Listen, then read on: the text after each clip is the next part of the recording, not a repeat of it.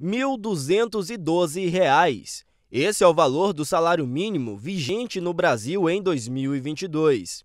Mas o valor, de acordo com especialistas, possui uma grande defasagem com a realidade do brasileiro. Mas a hora que há os descontos de, de impostos, é, esse salário líquido ele cai para R$ 1.115.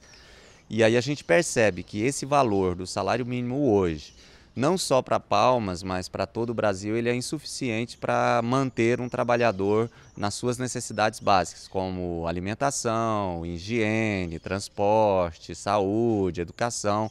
Então é insuficiente para isso. O Congresso Nacional aprovou o projeto de lei de diretrizes orçamentárias, que prevê o aumento do salário mínimo para R$ 1.294 em 2023.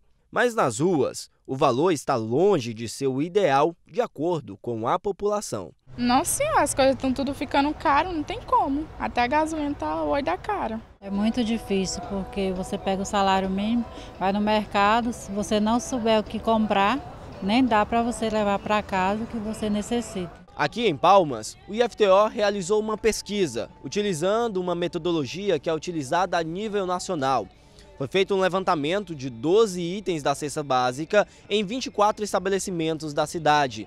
Além disso, foi pesquisado também os valores correspondentes à moradia, transporte e tudo o que é necessário para atender às necessidades básicas de uma família. O resultado é surpreendente.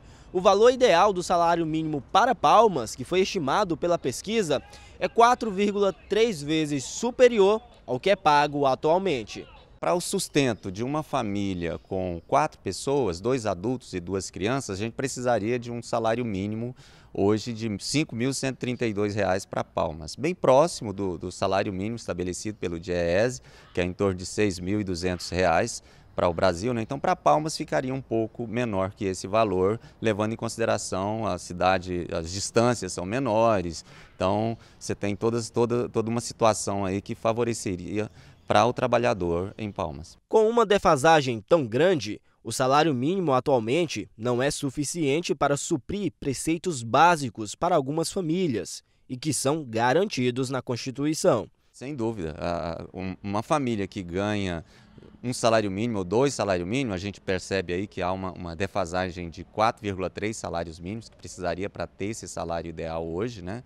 É, então, e isso compromete a, a, o básico. A gente não está falando de supérfluo, a gente está falando de coisas básicas, de saúde, de alimentação, de educação, de transporte. E isso pesa para o trabalhador, isso compromete a sua qualidade de vida. E compromete também a sua eficiência no trabalho, porque um, um trabalhador bem alimentado, que se sente é, feliz, por assim dizer, que se, se sente é, realizado, que, que sente que a sua necessidade básica está sendo atendida, ele trabalha melhor também. Então, isso também compromete a qualidade de serviço que é prestado também para as empresas.